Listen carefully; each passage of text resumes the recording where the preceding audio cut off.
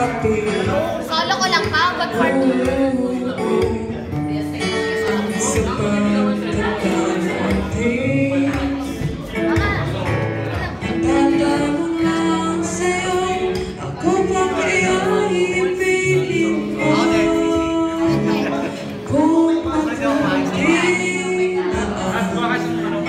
Thank you.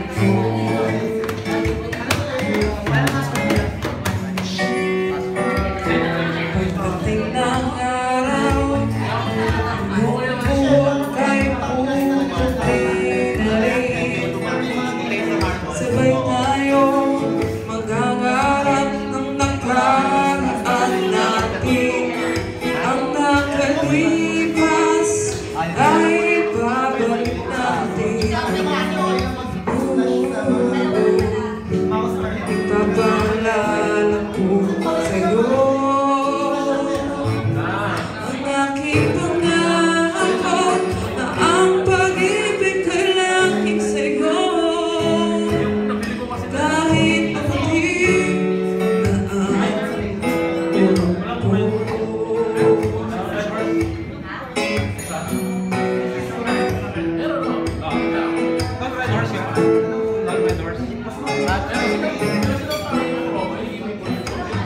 Setelah breakfastnya